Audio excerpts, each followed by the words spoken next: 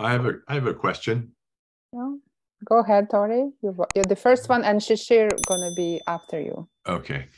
Uh, just um, uh, see, Henry, uh, thank you for the presentation. Um, just just questions about um, what did Schopenhauer do? Was he a professor most of his life? And then number two, did he have any friends Oh my with God. such with such a pessimistic outlook?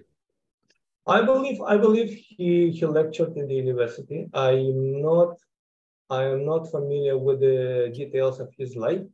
In uh, actually, it's uh, uh, this is what I have to research. Uh, in terms of friends, honestly, I am not sure. I I don't know. I uh, his biography doesn't state any friends. Yeah. Thank you. Okay, Mr. Shishir. And John Cummins after.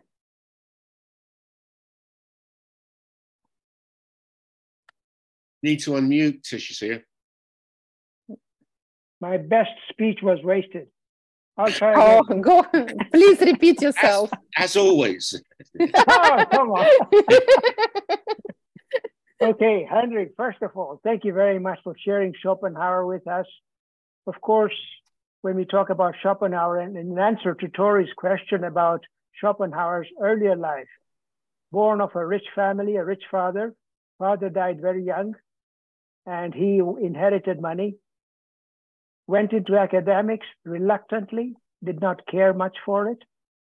Um, his mother was not sympathetic to his pessimism, and he gained popularity much late in his life. He was paranoid, and he slept with a gun. Okay, that gives you an indication of the of the psyche of the mind that we're thinking about. What So he was having- afraid of, Shishir? What what he's afraid Well, himself? That he did not share with me, I'm afraid. Oh, Uh, the second part, uh, I'm going to highlight uh, his connection to the Eastern philosophy, and as well as Greeks, um, and in uh, at some at some extent to Stoics. Also, he criticized Stoics. Um, well, So, anyways, I was just going to finish off what I started with. Uh, in terms of what you brought to, to, to our attention, Henry, it's most in- interesting that what Schopenhauer is talking about, and remember, this is the continental philosophers who just getting insights about the Eastern philosophy. Upanishads were something that he really read. Buddhism was something he was influenced by. And quite often, there's a negative implication that he was very pessimistic. And when you brought in the slides about death is the only answer to, to this life, of course, that kind of brings an edge to the, the pessimism indicated in Schopenhauer's philosophy. However, towards the later end of his life, he was much more optimistic, which I'm sure you're going to talk about. Uh, will, will that he talks about is, is really our need to survive. And our need to survive always precedes all our, our needs because we have that fear that behind every bush lurks a tiger. And as long as we got that mindset of self protection, we somehow never clear our mind from the clouds of this fear. And the Buddhism philosophy, you know, is very similar in the sense that people kind of call it a pessimistic philosophy. But there again, it's a question of will will never be satisfied. You have to stop with the needs. And if you seek tranquility, which is where Schopenhauer goes towards in the end, you need to kind of subs, uh, or, or subdue some of that will that continuously sits and rides our backs. So I thought that was well brought out through your slides. The cognition, of course, is mere appearances, and Plato comes to mind as soon as you brought that into picture. What we comprehend is what our mind comprehends. Is reality based upon our perception? That's really the question. Is reality real? Or is it different from each, each and every one of us? When I say, this bottle wins my heart, I'm an artistic philosopher. I'm speaking in metaphors. And that's really where he goes with the, that's why I think he's represented as an artist, artist philosopher, because he thinks the right brain type, not left brain, not the empiricist thinking, much more and uh, the, the uh, continental thinking. So I, I, think you brought those points well to, to our attention, and I thank you for that, Henry. Uh, what is interesting in the second part, I'll, I'll, I'll come to this, but uh, uh, there is some uh, connection with the idea of uh, Brahman comes to my mind, because Brahman is this unstoppable, overpowering, um, over omnipresent, omnipresent force. However, yeah. however, I think Brahman doesn't carry the promise, the concept of negativism, because uh, the, the, this idea of negativism is pure human. And uh, Brahman is, uh, does, not, does not include our personal interpretation of this force. If I can just answer that, Brahman is really talking that the life is an illusion. Mm-hmm. And what we consider to be pain and pleasure are no longer there because we are an illusion. And it's really something that we can only escape by finding those glimpses of tranquility, which come as the mind calms down. And we catch little glimpses of it when we meditate. Good point. Mm-hmm. Thank you, Shishir. Thank you, Henry. Uh, John Cummins, are you ready? Yeah. Mm-hmm. Go ahead. Yeah. Yeah. Hi, Henry. And uh, thanks for the presentation. And uh, I, I have been reading bits and pieces of Schopenhauer in his original text, and he's very funny. Like he's a great writer, and I don't know why all this pessimism surrounds him. I mean, Montaigne said, as a philosopher, he said, in order to live properly, you have to learn to die and accept death. Schopenhauer did those things. People say that it was a great tragedy of some kind that he called it will because will has intention. He should have used the word energy. People have also said is that Schopenhauer, in words, figured out E equals mc squared 100 years before Einstein. And I think that's a fact if you read his writings. Yeah. yeah. Freud, he says he was 100 years ahead of Freud in terms of many of uh, Freud's great ideas. Others have said he's the greatest philosopher since Plato. So he's getting a bad rap, in my opinion. I think he's a great philosopher and should be read. And again, he didn't get any traction until about 100 years after his death, where people really started to read him and understand him. He was a fan of Hinduism. He was a fan of of Buddhism, the thinking man's religion. This guy was ahead of his time. He was courageous. He was a great philosopher, in my opinion. Now, Henry, when he said will, does will die? Does will is if it's energy, it never dies. It's just transformed. So I knew he felt will was destructive, as energy can be destructive. It wants to live on, right? I mean, the sun, the heat, it's destructive, but yet it gives it gives life. I think Schopenhauer understood that, and for whatever reason, um, it's he's not being treated fairly in in this regard, in my opinion. Uh, how do you feel, Henry?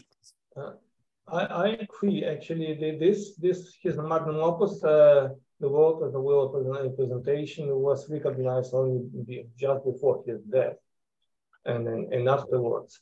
Uh, as well, uh, in my opinion, um, each philosopher, all philosophers are human beings. They cannot dispute that. And each philosopher includes in, in his philosophy a part of his personality. And probably a part of his personality in a certain stage of his life. So my understanding is Schopenhauer uh, has reflected in, in, in, his work his uh, particular state of mind at that, at that stage of his life. Later on, uh, well, if you read, uh, he, he produced uh, a lot of work. He produced a lot, and then the, uh, it's not it's not all that pessimistic. But in my understanding, he tried to convey the main idea of the will. Uh, I don't I don't see it as gloomy and pessimistic completely. Personally, I don't. I don't see it that way. Um, again, and it depends on the personal uh, interpretation and again on, on, on our cognition, as he mentioned. So. Oh, well, thanks, Henry. That was a very good addition from John. Appreciate it, John, of course. Hi, Iggy, do you have any questions? You see your beautiful face. No? You unmuted. Uh, no, I haven't been listening long enough to, uh, so I won't pester uh, Henry. Okay. Still thank you for a smile anyway. Yeah. All right. Who else has any ideas? What is wrong? What is right? Mr. John Smithen. Oh, Yeah. you have the floor. Yeah, for some reason I couldn't do my yellow hand. I, I don't know why. but, okay. anyway, yeah, um, and we got a okay, okay. couple more. Um, yeah, I would be interested in sort of pursuing this uh, connection with, you know, soi-disant Eastern philosophies, you know, such as Hindu. Of course, then Shishir and I have had this, you know, talk before, and Shishir might want to sort of come in. They're not really Eastern in the sense of far Eastern. They're they're, they're directly in the sort of Indo-European tradition, you know. So it makes it makes perfect sense that German idealism, you know, and you know Buddhism, Hinduism, etc., would have, as it were, common roots. But but what I found in, there are two points I want to make about the uh, about the Buddhism.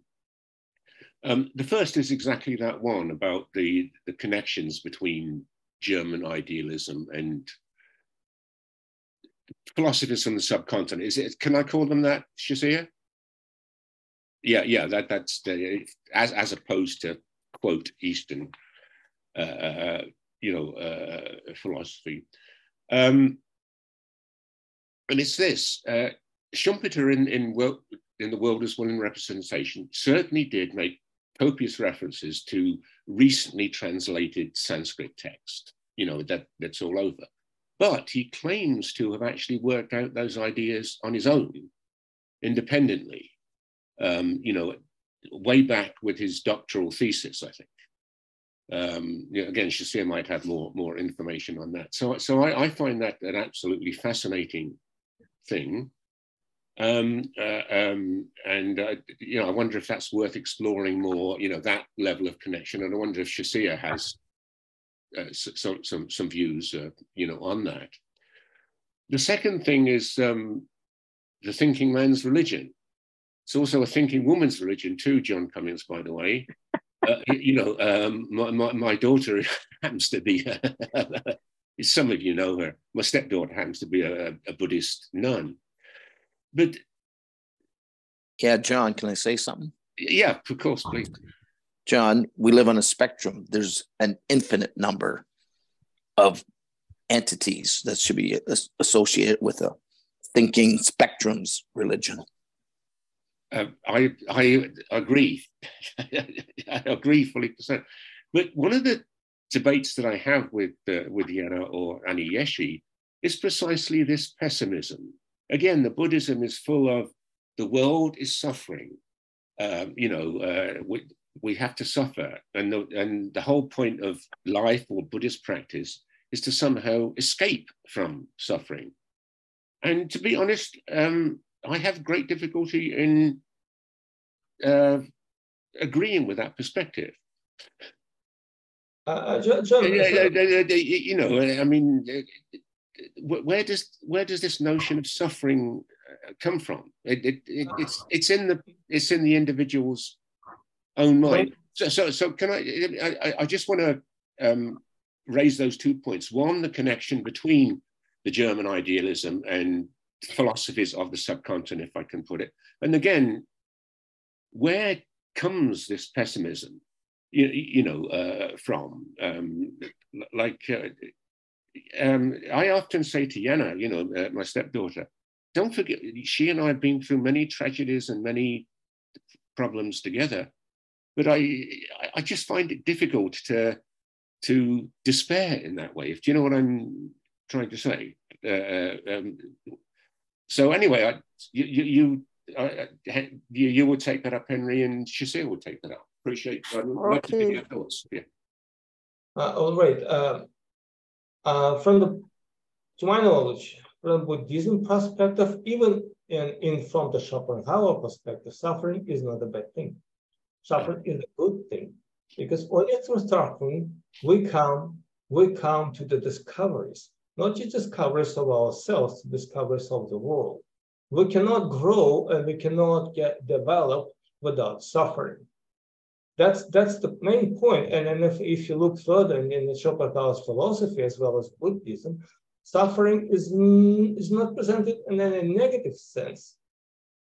Suffering is a uh, is a is a travel. Basically, as Buddha said, it's better to travel well than to arrive.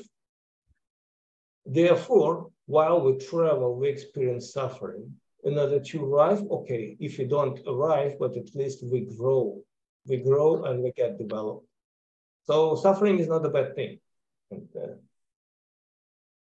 but is it necessary, Henry? I'm sorry, just to the point. Uh, it's all it's all relative.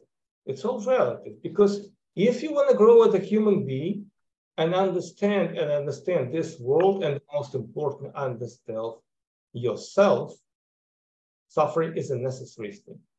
Mm-hmm. And it all depends because all, everything is relative from the human perspective in this world. Right? You can, you can you can have oh it's a bad thing, and then you can stay without development. You can stay as the you are without change. Well, but it's not possible anyway. We cannot avoid suffering. Okay, I'm not a Schopenhauer, just share, finish the point, but I think we can also progress through suffering or through positive experience through my it's what I would consider, right? Like, and Shishir, sorry, go ahead to finish the point. Okay, if I can just interject here, there's two questions raised by John, and as Henry explains the suffering, and there's a lot of loss in translation, and I just want to bring that to the attention.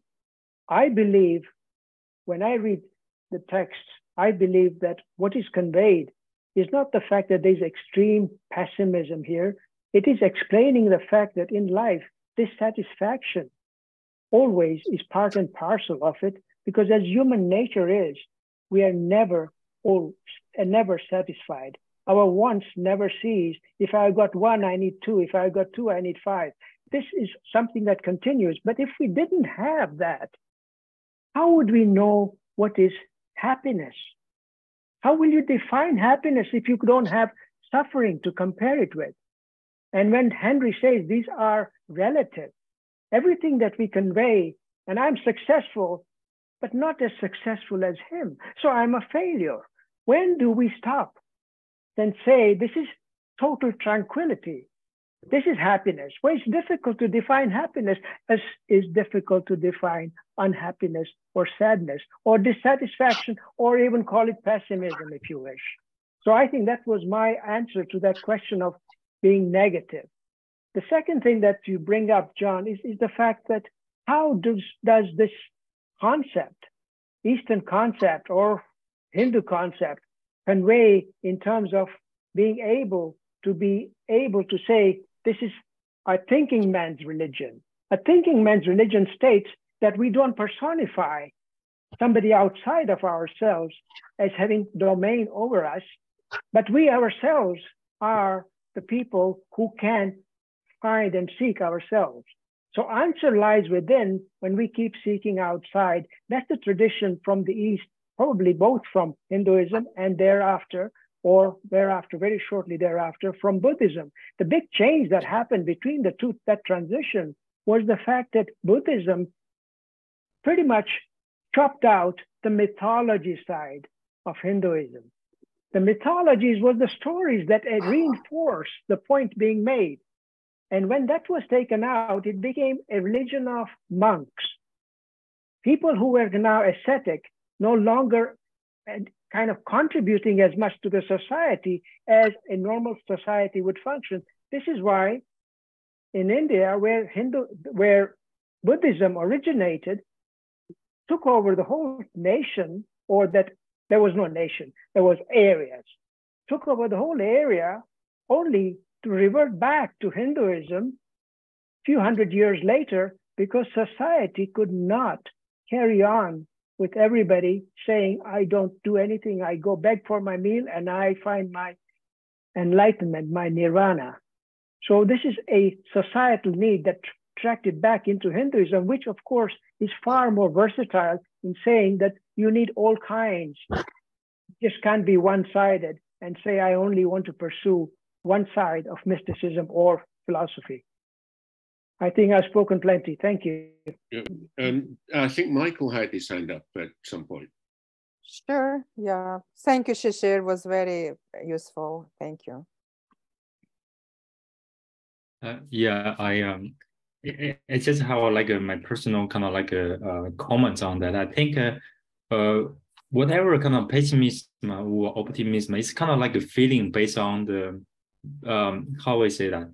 Um, I think we metaphorically we try to understand the fire, but we try to understand the heat, make the heat, analyze the heat, try to understand fire understand the fair. I don't think it's a good approach. It doesn't matter it's like pessimism or like op optimism because those is based on kind of like the feeling on what we think.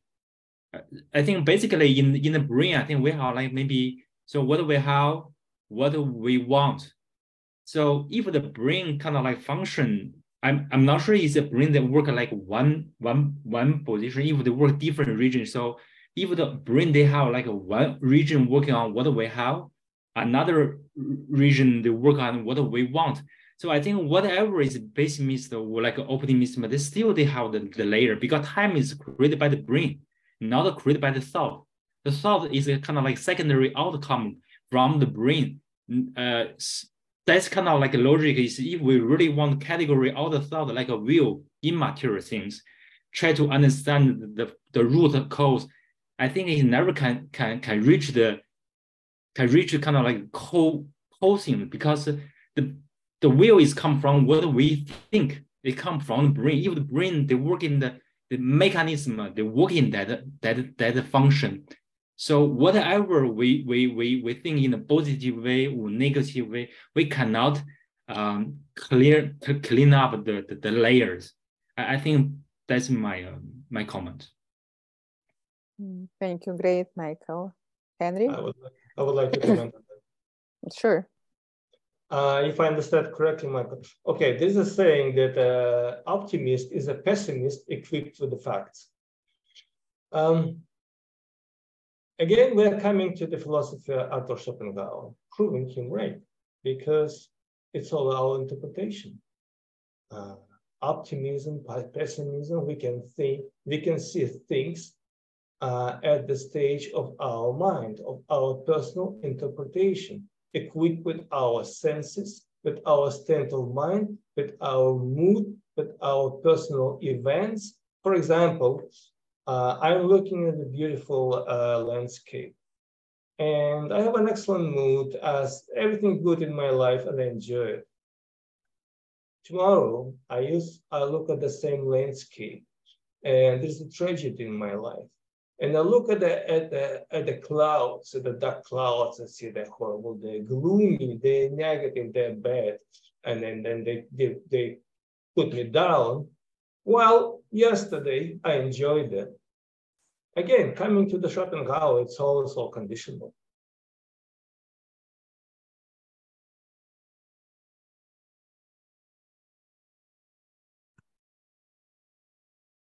Very good. Okay.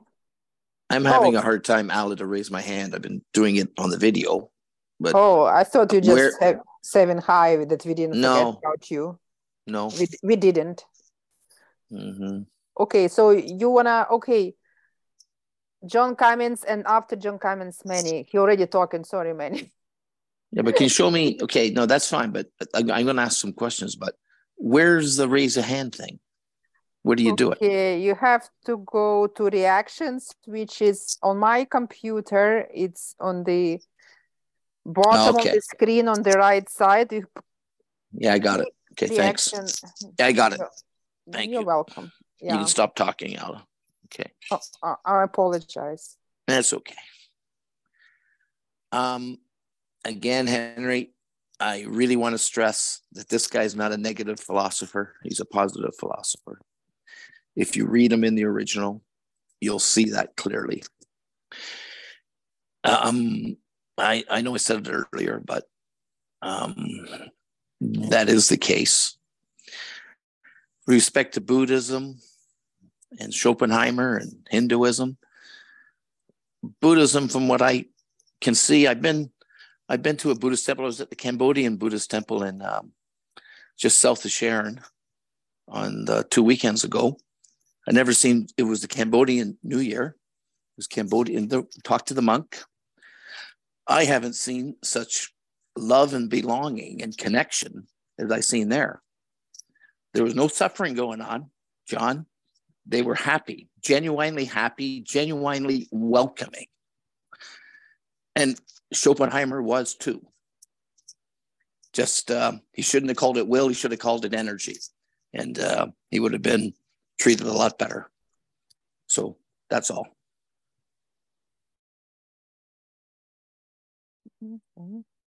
Thank you, Buddhist.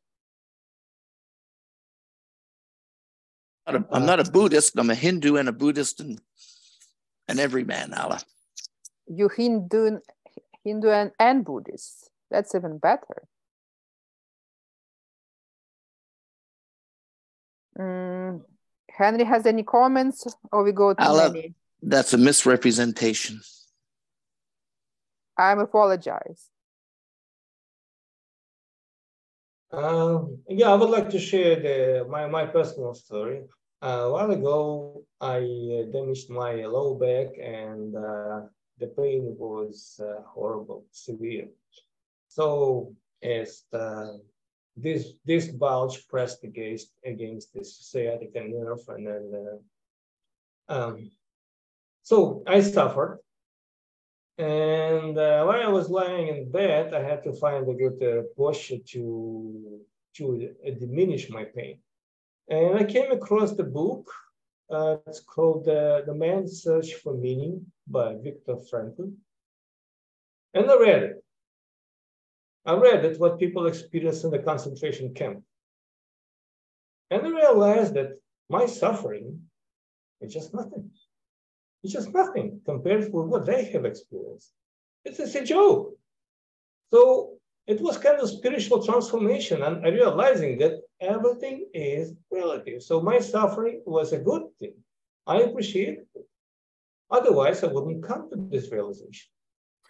That's just an example, Ella, to in response to what you asked before. Mhm. Yeah, but I think there are always two ways to respond to your comment through negative experience. But I firmly believe you can go to the same goal through the positive experience. It's And all our, our interpretation, negative and positive, our personal interpretation. We never know when it's going to turn out positive or negative. It's our immediate interpretation of the current event. Event happened, we interpret it. Okay, this is negative, this is positive, based on our current state. But later on, this event can, can turn out positive, but we have no clue to determine it at that time. yeah, that's called real life. Maybe you're right. You can say that. But yeah. Okay, sure. Okay, Manny, are you still want to talk? Do you still want to talk? Sorry about it. You muted. Oh, there we go. Yeah, you Better? You you're the one. Then Iggy and after Iggy, Shishir, please.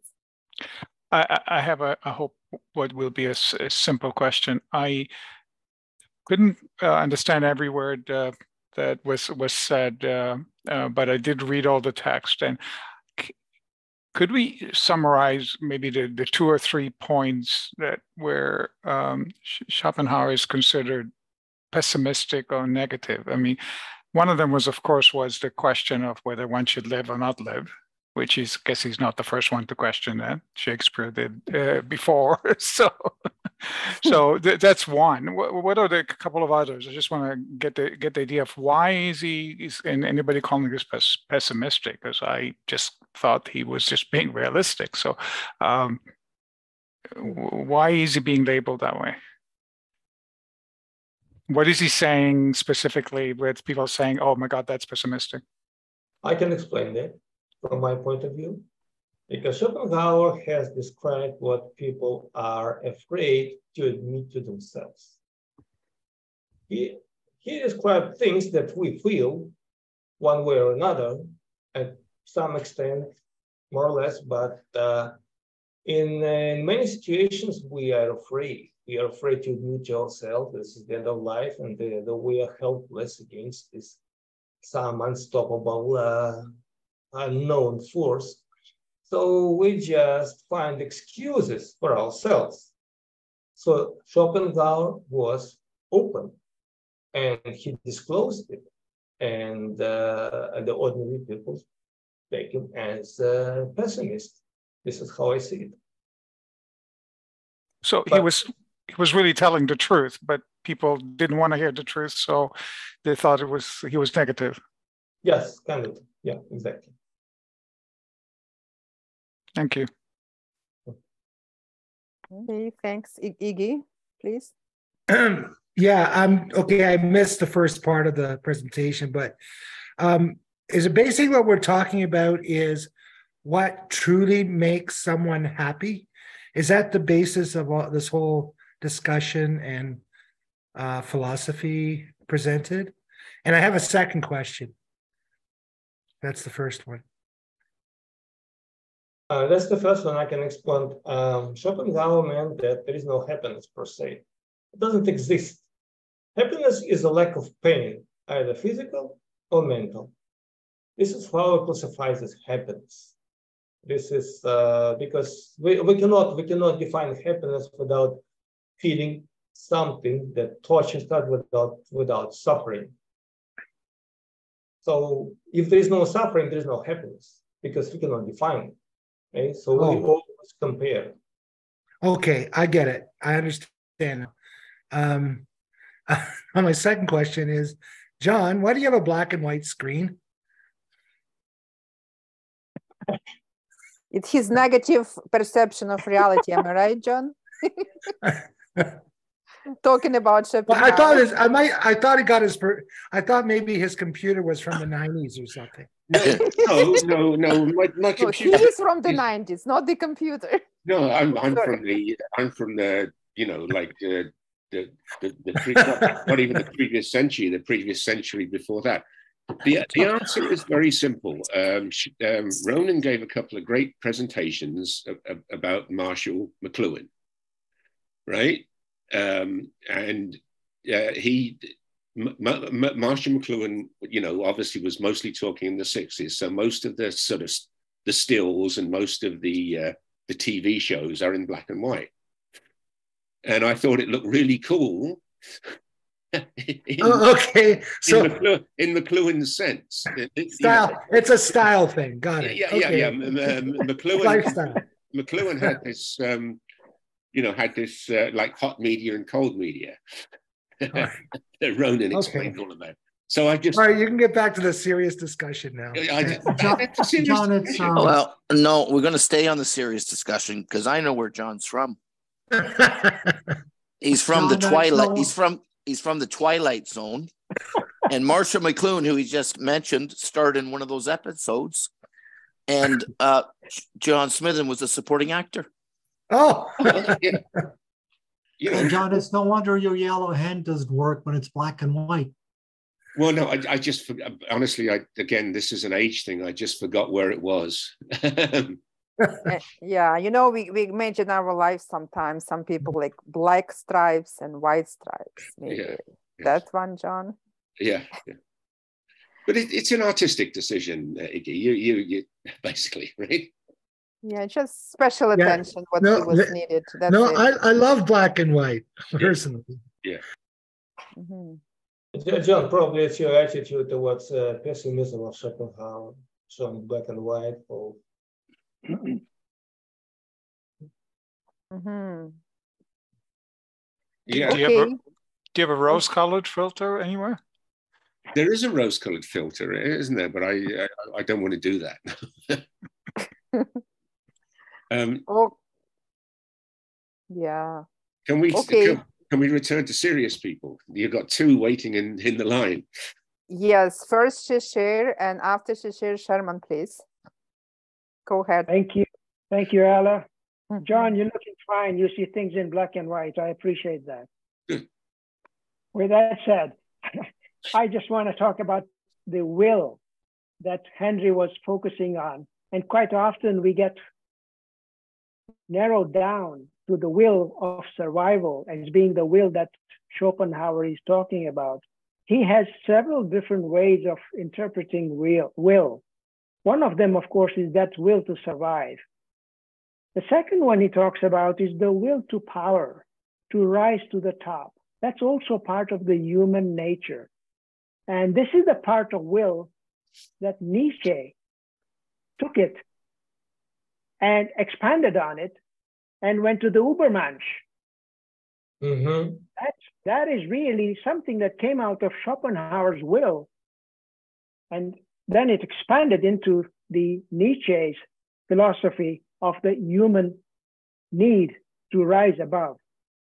The other thing that will was expressed and defined by Schopenhauer was in compassion, in justice, and in kindness. This is something that gets overlooked because so much of the focus goes into the pessimism that is picked up on that first part of will, will to survive. So I just thought I'd, I'd kind of give you the full equation so we can see both sides. I'm sure Henry was going to come to that in his next talk, but I, I kind of just wanted to make sure that that doesn't get overlooked. Thank you. Uh, That's great, uh, Shishir. Thank you to you. And we go to Sherman, please. Hello, Henry. So, Henry, I have uh, a comment to make. I understand the impact that uh, suffering has on a person, and by suffering, a person does understand what is happiness. So, I appreciate that point. But to what extent does suffering become trauma? So, the person suffers so much that that person is traumatized, and consequently, that person's vision of the world is skewed. And not only that, but that person's vision, which is uh, the product of severe trauma, is passed on to future generations. So we have a traumatic, a, person who has been highly traumatized, and and, and on many occasions, their children carried that traumatic, not tragic, but traumatic view onto the world. So I'm just wondering to what extent uh, this is there is a certain imbalance to excessive suffering, where uh, trauma uh, will distort a person's view of the world, and that person will not be able to undertake matters in a more balanced manner. And that's just my concern with the whole issue of suffering. Um, in the in the next part, I will come to this, uh, but I'd like to mention that uh, Schopenhauer insists that we're all individuals. We're all individuals, so which means we're different. Um, second, um, like have the Schopenhauer indicates that people cannot escape from the clutches of the will. Will brings suffering. It could be, what could be expressed by different ways, mental, physical, whatever. So, um, according to his philosophy, we are doomed, unless unless there is a way to escape, but it's going to be in the part two. Um, but majority of human beings have no means to escape using the, the, intellectual abilities. The, in, the intellect is a slave of the will. So in this case, um, trauma, suffering, and is an action of the will, according to Schopenhauer. And sometimes it can result in suicide, which is, again, the result of the will, which he calls a demonic force. This is how this is according to his philosophy. Okay, that's fine. It's just that, uh, well, here, uh, I looked into Schopenhauer's uh, life. And so uh, when before he died, in his will, he willed all his money to uh, Prussian soldiers who participated in the repression of the 1848 revolution. And so I guess you can classify Schopenhauer as a reactionary. I don't know. But uh, for those who fought in the 1848 revolution and what they were fighting for was greater liberty and freedom, uh, Schopenhauer seemed to have a problem with that. And so the money, his money went to, I believe, the families of, of those soldiers who died putting down the revolt.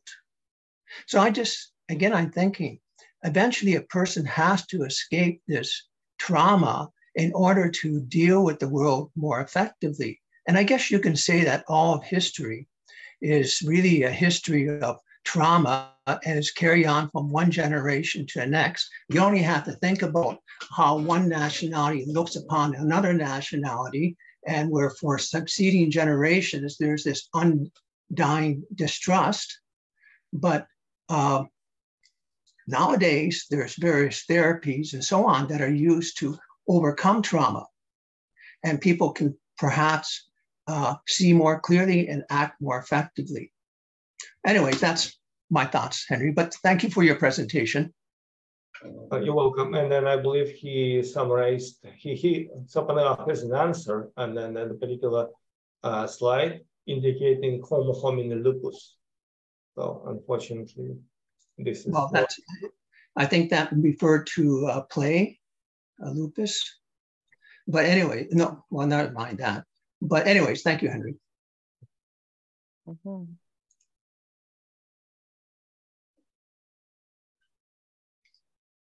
Sherman, if I can just add to what you yeah. mentioned about him living his money at the end of his life to a charity, which was helping wounded soldiers. That's, that's right. what I had, that's what I had read.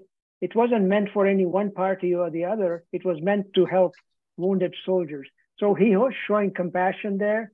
He was showing regard for the fellow human beings in answer to the fact that what happened to generational trauma it's it's very difficult because if you are going to be all individuals, how are you going to look out for each other and be supportive? This is why Buddhism and Hinduism tend to go into the sanghas. Sanghas are group gatherings where they support each other. And of course, we all know how group support is so crucial in uh, even therapeutics of psychology and, and psychiatry. So, yeah, it is very similar to that. Actually, but just one point. Um, at least the reference that I looked at, I think it was Stanford University uh, philosophy. I believe it did state that he left the money to, it was a charity, and just as you stated, but it was for the families of those soldiers who put down the revolt. Now, uh, that's why I brought it forward because again, it's uh, Okay, well, I'll just leave it like that. That's a matter to have, that's a historical fact that has to be clarified. And remember, he, he's the guy who slept with a gun in the bed. Well, that's, uh, that might be uh, uh, problematic and it might be, a it might just be, um, see, there's no mention of his father. He, uh, there's a, apparently there's a traumatic a break with his mother. His so, father committed suicide. Well, you know, it's it's hard to play uh, armchair 21st century psychiatrist on past figures, but you have to wonder what impact the suicide of his father, uh, his sudden break with his mother, has left, uh, what impact that has, that has had. And given modern studies in psychiatry and psych psychology, uh, these are factors that have led to uh, traumatic behavior, oftentimes abusive behavior by people. I'll leave it at that. Okay, excellent comments. And thank you, Sherman. Thank you, Shishir. John Smithin, you can you have a floor. Um, yes, I do. I, I actually learned how to do the yellow hand reaction, unlike uh, Mr. Cummins. So um, oh, congratulations on that. One up on you, uh, JC. Um, but I'll defer to Many first, because Many has a question. Um, no, just a comment. But please finish, John. I can wait. Oh no, no, it's, it's quite long and complicated. I think you should. I think you should go ahead. Uh, okay, so now I have to remember what I wanted to say. Um, you have so, to make it easy and uh, yeah. simple. yeah, so certainly uh, having such a, a, trauma like having a father commit suicide will make one think very much about a lot of things, right? It's uh, a lot of the times trauma in a, in a in a figure's life or in a writer's life is the impetus or suffering is the, the impetus to uh, think a lot and try to understand the world. And, and then we have a lot of writings and and we reflect on them which which is also great. Also uh, as far as trauma is concerned what you were saying it's generational.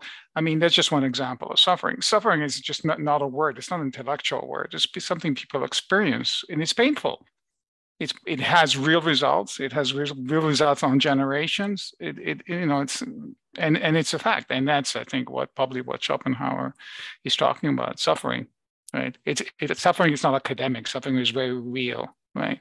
And we all we may all I may be very good at intellectualizing it, right? And that's really what it's about. You can intellectualize it, and you can say, "Oh, it teaches you," or "Without suffering," you know. But you know what? It's pain in the neck. I'd rather do without it. Thank you. Schopenhauer says that the suffering is very personal. And yeah. uh, what, what is suffering for one individual cannot be suffering at all for another. So yeah. it's, it's a personal interpretation. Thanks. Yeah. So yeah, suffering is a philosophical point, as I understand by itself. Maybe yes. that could be one of the discussion, but not the, like maybe someone can pursue on that. So we have two Johns now, and again, Smith, you go want to go ahead, or you want to? No, I'll defer to John as well. Yeah, yeah. Okay, then okay, I'll take it. And John Cummins, you you can put your um um. Are you playing with a with a hand, or you really want to talk, John? Oh, sorry. It's no, all no, right. it's the first time. That's the first time an Englishman. that's the first time an Englishman let an Irishman go first. You're going to regret it. Uh, um, it's not the first time, John, and I regret it in many ways. Anyways. Yeah. Anyway, congratulations on raising the hand, John Cummins. You did really, I see the big progress. At least, I, I, know at least you learned something from this presentation. That's for sure. John, uh, John uh, texted me how to do it. And then he did a YouTube video showing me how to do it. And then I figured it out. Thanks, John. Um, Schopenhauer and suffering. So his dad committed suicide. His mom didn't like him. He didn't like his mom. I'm not sure. So this is a guy that was had to deal with suffering, and then he writes these books, considered by many the best philosophical works in Plato.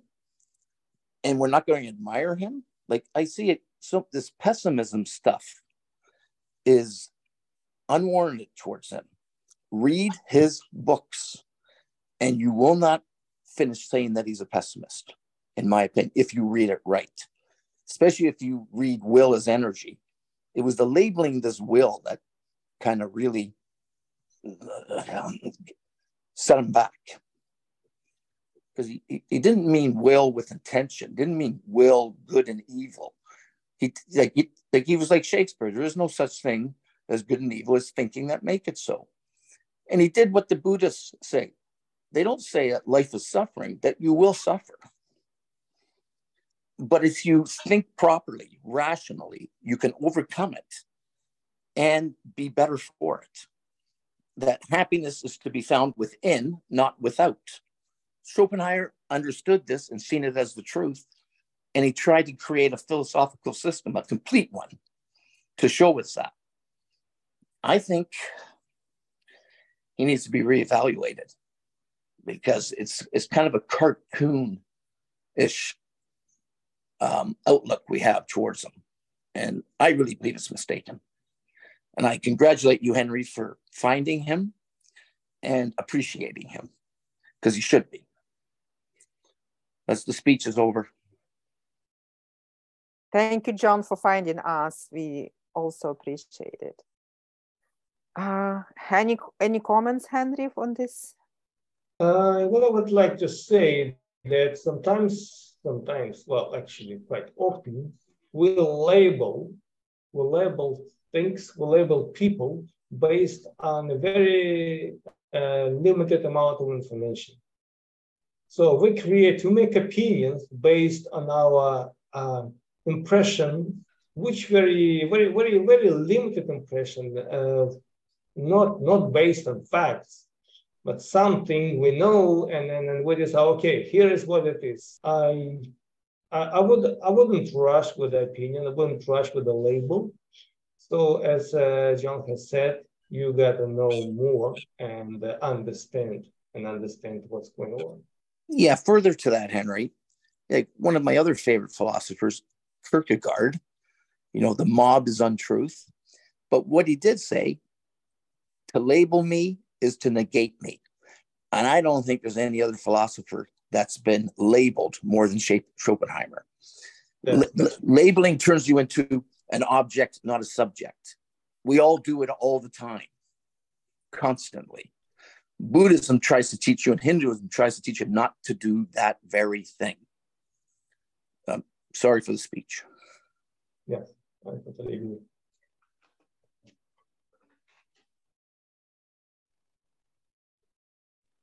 John, you still have your hand raised. Yeah. Okay, so um, I'll go ahead now. It's it's it's related to what John was talking about, and I take John's point about labeling. Um, you know, how do we know um, whether um, what's his name Schopenhauer was pessimistic or optimistic? Because um, uh, we're not basically in his head, are we? Right? You know, like in his own personal thing. But but, um, but uh, a more general point is this: we've been talking about sort of more about psychology, haven't we? Um, you know, did what was his relationship with his father? You know, what happened to him? You know, to in in life to to affect him. What we don't seem to have done is we don't seem to have um, looked at the actual philosophy, like the tradition of ideas that that he was part of and in the middle of. And I think it's very important to recognize that he was, of course, uh, you know, right in the middle of German idealism.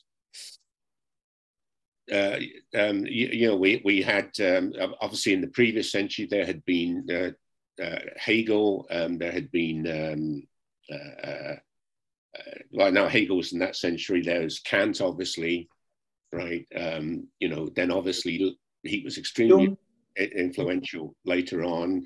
Nietzsche, he influenced Nietzsche, influenced others later on. He was very influential in, in the 19th century. Um, and some part of his attitude then might be a consequence of precisely being in that philosophical tradition. And to understand what that philosophical tradition is, I think we have to um, see what the opposite uh, philosophical tradition is. So, the opposite philosophical tradition to idealism would not be materialism, uh, we've been had that discussion before, it would be something like metaphysical realism. And, uh, you know, and to an extent, uh, Aristotle, Aquinas, Gilson, Searle, we, we know the people that have, uh, that have commented. Okay, well, um, Rasmussen and Vallée made, made two points about, quote, metaphysical realism. They say, well, metaphysical realism has actually two aspects. It has uh, an epistemological aspect. Um, you know, reality itself, it asserts the existence of, uh, you know, uh, like a physical reality.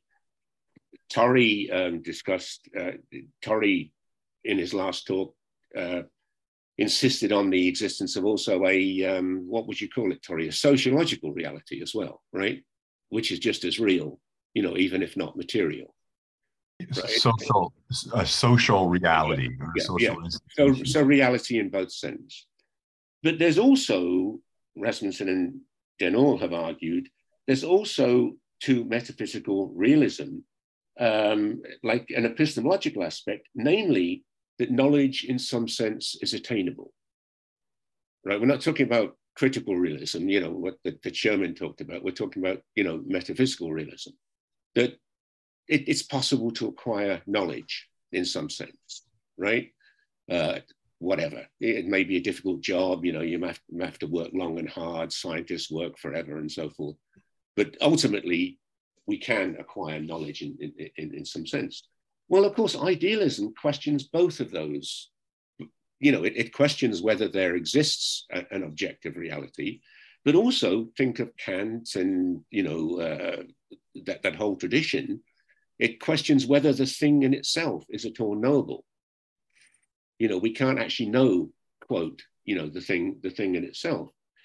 And that's relevant to the, the that's relevant, I think, to the position that sort of later philosophers take. It's relevant to the position that existentialism, somebody mentioned Kierkegaard, it's relevant to the position that existentialists take, definitely relevant to, um, you know, Sartre, for example, um, 100 years after Schopenhauer, um, Being and Nothingness because one assumes that the world is not understandable, because it all doesn't make sense, because it all seems meaningless, right? You get Sartre's nausea, you know, uh, you know, Sartre's panic. And the idealist response to that is, well, you have to kind of create yourself, you know, by an act of will. You have to give meaning, you know, to your own life, the typical existentialist notion. Whereas a metaphysical, um, you know, a metaphysical realist would have other resources. Uh, you know, you could follow the sort of Aquinas path, if you like, um, uh, and acquire knowledge that way. Anyway, that, so what I'm trying to do is instead of trying to interpret Schopenhauer or anyone um, essentially from uh, like a psychological perspective, with his father kind to him or whatever, right? What about placing him in the tradition of thought that he was in?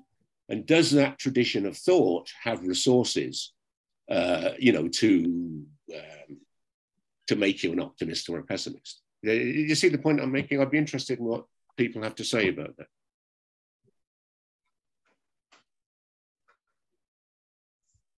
Okay, Henry, do you have comments or we go to the next uh, member? I have, a, I have, a comment to what John has said. Uh, yes, go ahead. Um, uh, the interpretation of uh, the meaning of this world or the meaning of life, uh, if you wish, um, Schopenhauer means that it's not that it doesn't exist in my understanding, but we are not able to comprehend it. This is the point. We are limited, and then, well, we, we create the, the, the, the meaning of life for ourselves because we have no choice. Otherwise, it would be total despair, boredom, and, and and, and, anxiety. But uh, this is what he means, basically. We are limited. We, we, we can't, we can't uh, comprehend it. Yeah. Well, that's what I said. Idealism does have, uh, an, uh, as well as a metaphysical aspect, an epistemological yeah. aspect, as does realism. And the question I'm asking is, you know, possibly to a possibly a realist philosopher would have more intellectual resources, if you want to put it that way, um, you know, to explain uh, the human condition or whatever. Um, Sherman's next, I guess. And I thought, I thought I was next. Well, I'm sorry, John, you're not. But uh, if you really want to, I don't know. I'll I'll be short. Yeah. Okay. Schopenhauer wasn't an idealist, and he wasn't a realist. We've talked about this many times, John. He was intangible. He believed that life emerged through energy and light, the Big Bang. That is not an idealist. Might be closer to a realist, but to me, he was intangible. if you have a circle that's idealist, a circle that's realist, and it's a Venn diagram, he's he's the part that two circles in in uh, um, fit into the, the Venn part. That's all. Great comment. And okay, John, want to re reply or we go to Sherman? Well, there's a th- there's a third thing, right, uh, which is materialism, right? Like the, the, the fight isn't between idealism and uh, uh, materialism, which is um, the way it's interpreted. It, it's it's the it's the it's a dispute between idealism and realism, and realism realism cannot be reduced to uh, um, materialism. You know, materialism. That that's the point yeah but john in, trying in, to in, including energy.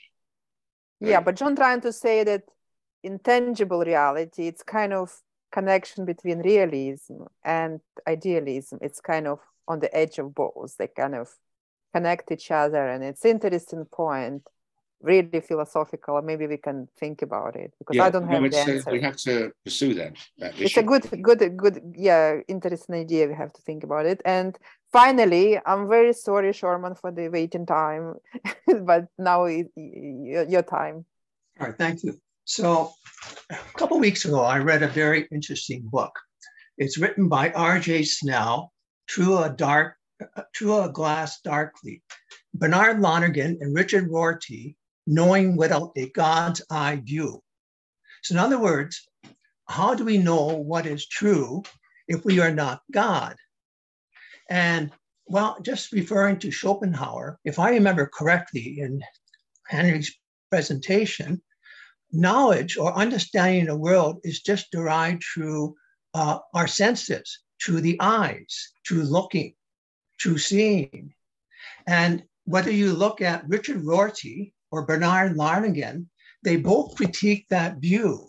They say that that actually has led to uh, incorrect views of the world, since because we assume that just by looking, we know. Both of these philosophers disagree with that point. Now, uh, Lonergan goes one step further, and he does say that we could know, but you have to go beyond just looking. So looking or seeing does not provide us with knowledge. But if we work within that framework, and this is what John was saying, this is the intellectual milieu at that time uh, with David Hume. Uh, well, the world is relative. the world will never be known. It will never be understood.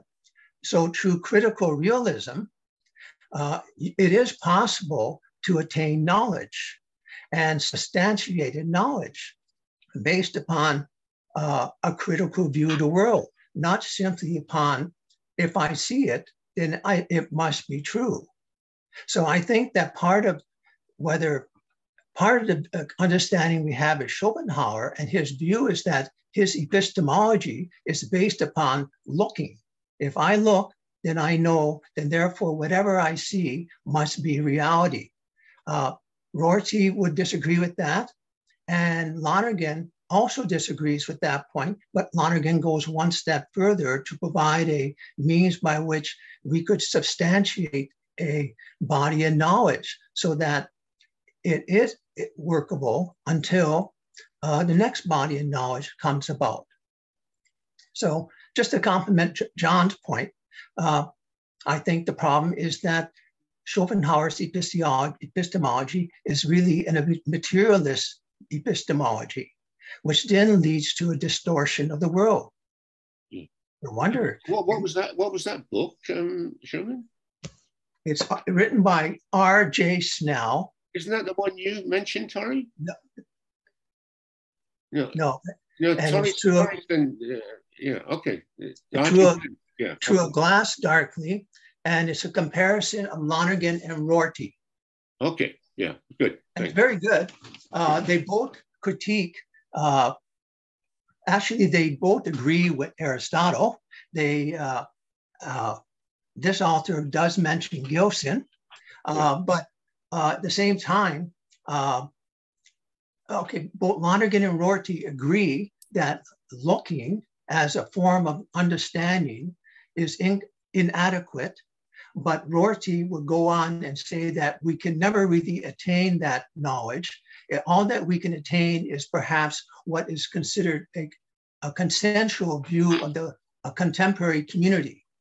While uh, Lonergan would say that uh, it is possible to actually move beyond that particular view uh, where we have substantiated knowledge. And I don't know, there's, there is this Italian uh, physicist, Carlo Rovelli. Hmm. And uh, I couldn't help think after reading a number of his books that uh, he, in many ways, as a uh, quantum physicist, is also a critical realist. But that's a different topic. Yeah. That's another presentation. Maybe you can have a lead on that, Sherman. I don't know. no, It's, it's- it's a little bit too many quirks and quarks for me. Oh, That's a joke for quantum physics. Yeah. The quarks and quarks. mhm. All right, because we're always open to the presentations, you know that. Yep. Okay, any comments from Henry?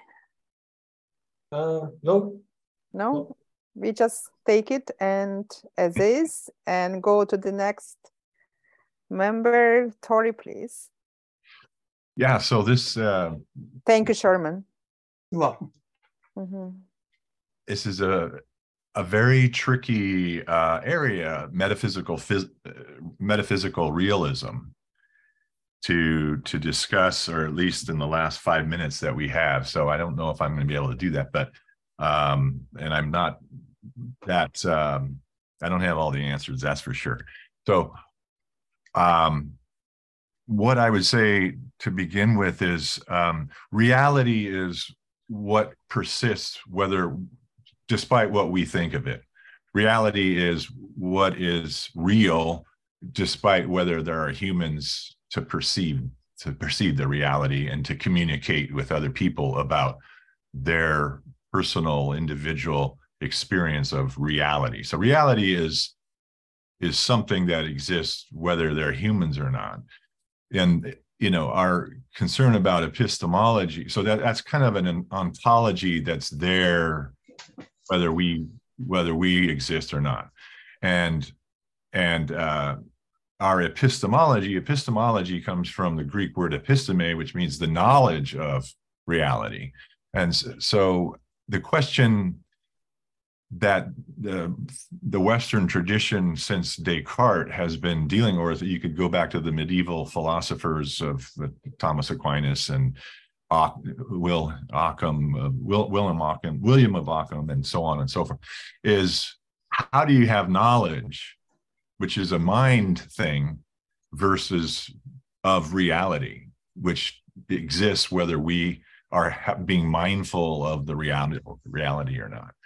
So even within metaphysics, and and what Descartes' breakthrough was is to, and what a lot of the idealism versus materialist uh, di, uh, you know, dichotomy comes down to whether you know you're a scientist who believes totally materialist, or you're you know a platonic idealist that only ideas are real. Um, yes, that is a that that dualism is kind of what Descartes took to the absolute extreme by saying there's actually two different realms of reality. There's the mind realm, and then there's the physical realm. So he he he was just a, a pure dualistic two worlds but we we know that that's not true. It's oh there's only one world. There's only you know and um and so in a sense we have to one of my favorite quotes of charles sanders peirce is you know we, we have to be materialist w- without flinching which which gets down to I, I've just been reading a, a recent book. Um, this is it right here, called Philosophy. That's the one. Yeah, yeah. Yeah, yeah, Philosophy in the Flesh. I'll try to get it focused here. It's not focusing, but anyways, by um, cognitive scientists um, George Lakoff and Mark Johnson, and I'm familiar with them. They they wrote a book about 30, 40 years, 30 years ago, 40 years ago, called Metaphors We Live By.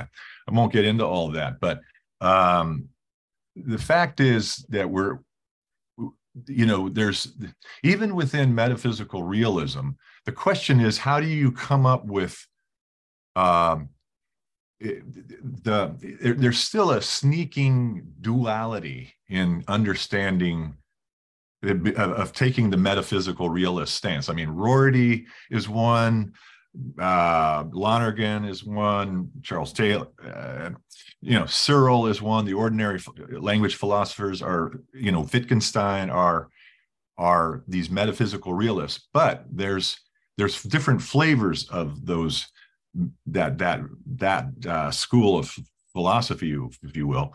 And you one of the key things is how does the mind? I mean, after all, we are all talking with language. You know, uh, Schopenhauer was writing down things. This philosophy is sort of a love of knowledge, right?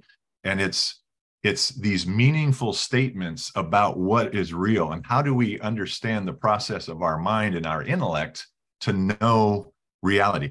Knowledge of reality is is not the reality. It is just our knowledge of it. So it's it's this created symbolic representation of real. And then we get in more complicated things like money and governments and marriages and these social objects that are created in language and then referred to as if they have a physical ontology or at least there's a there's a real ontology to them you are you are certainly a married person you know despite if you have affairs on the side or something but so um you know, uh, the question is, how do you? It's it's really those representations, how how closely they they um, match reality. That's the issue, and we we we get caught up in this um, this this sort of dichotomy of dualism. There's you know, and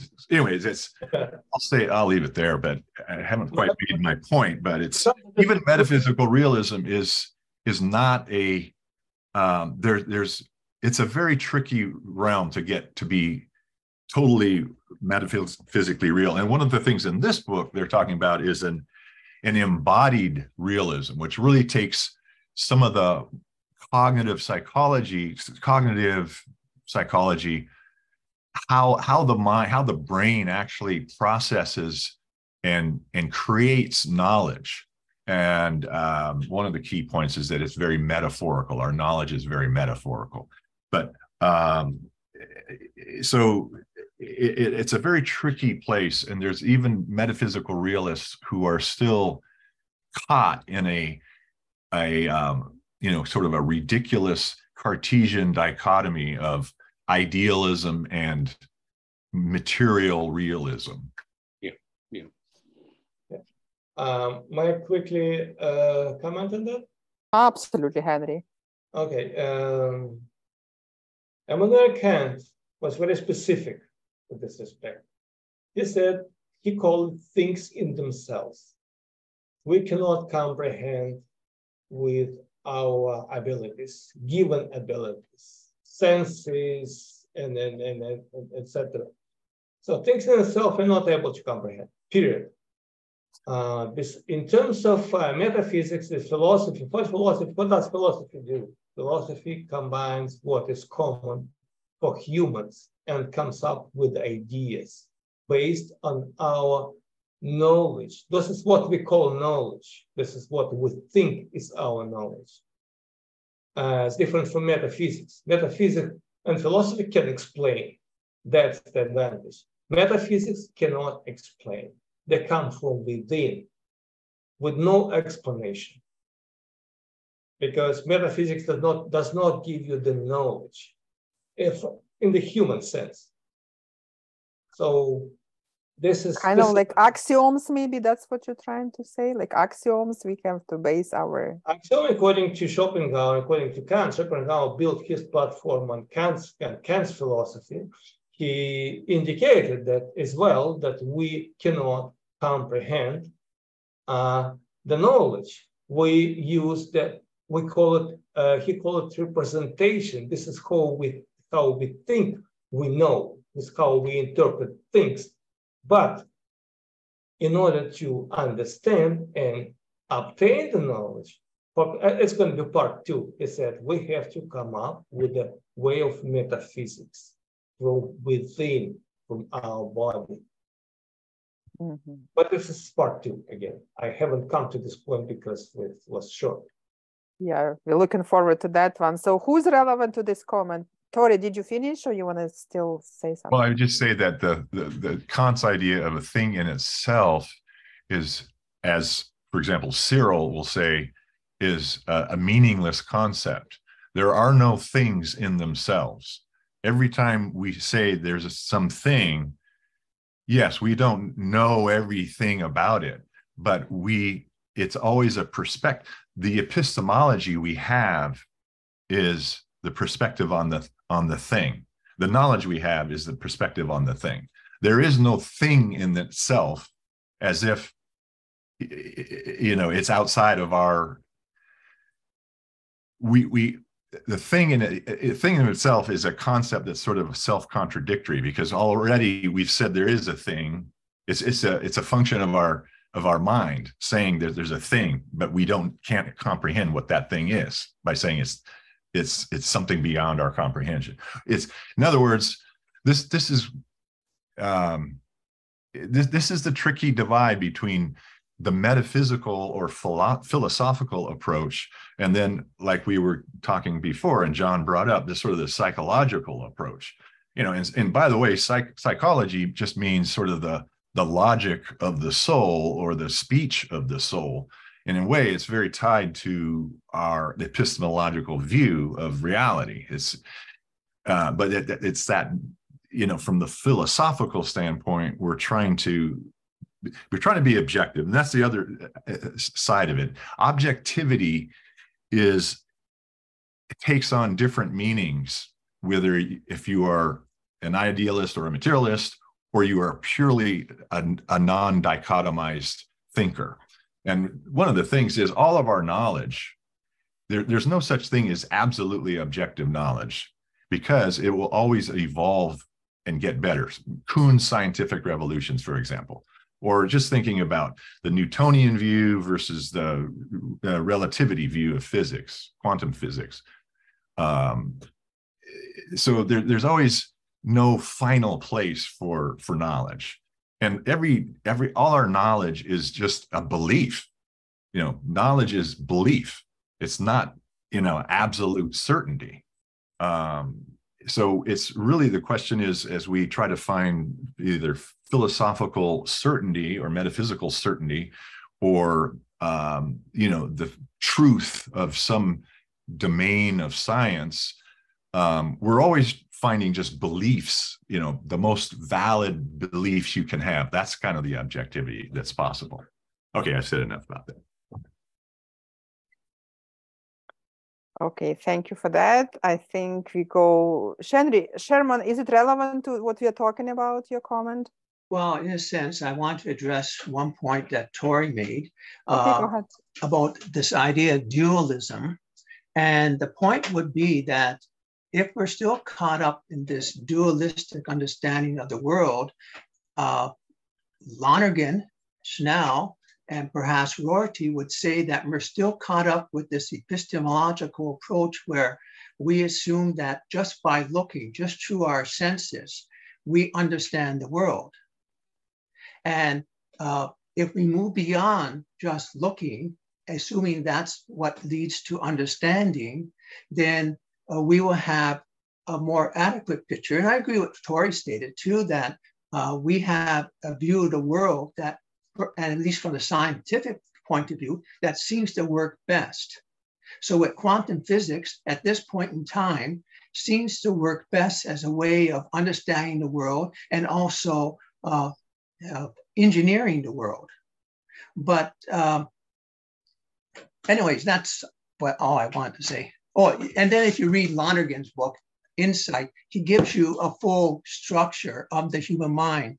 And and another point is that in many ways, what Tori was stating in his book by Lakoff is that uh, Lonergan himself understands that uh, the mind and the body are part of one. He doesn't see the world in a dualistic way. He sees the mind and the body working together. And his point is that sometimes the body can lead to distortion, to bias, and uh, a poor understanding of the world. Yeah. Yeah, I agree with that. Yeah. Mm -hmm. Okay, that's excellent. And we still have John Cummins who kind of want to say something, and you, John. Yeah, I'll I'll, I'll be brief, Ala. Mhm. Again, I think there's a massive misunderstanding on how on what how Schopenhauer understood will, and as as we moderns understand will. Will is commonly understood as it involves thinking and it involves action and it involves values. Schopenhauer seen will as one thing and and and it didn't have it was just energy. It does it but it did have energy does have action but it doesn't have values. That's all he's seen it as now he would have said it was a destructive force. Well you know heat is destructive. It does kill but it also creates. Maybe schopenhauer didn't talk enough about the creation side of energy. Mhm. look refer to the quotes that rob has put in the chat. That's the schopenhauer i know. And he has hundreds of such quotes if you read him. And if you read that there's nothing that you can object to the quotes that rob put in there so i think we're really missing the point here about some of us are missing the point on who and what schopenhauer was and what he represented finish my speech Mhm. Actually, that's excellent. Any comments, Henry?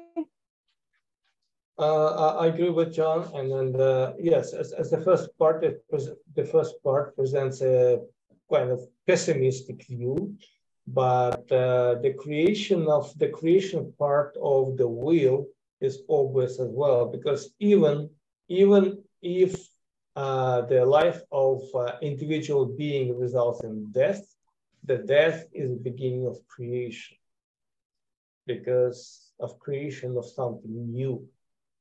It's it's a constant process, and uh, well, again, I'll come to this in part two, but uh, I agree with John. Uh, will the will is not just an unstoppable demonic force; it's also creation. I mean, well, uh, Um, most, most human beings cannot cannot overcome its power. Um, Ala, I think there's just one more question from many, and then we're sort of getting to the end of time. Uh, Yeah.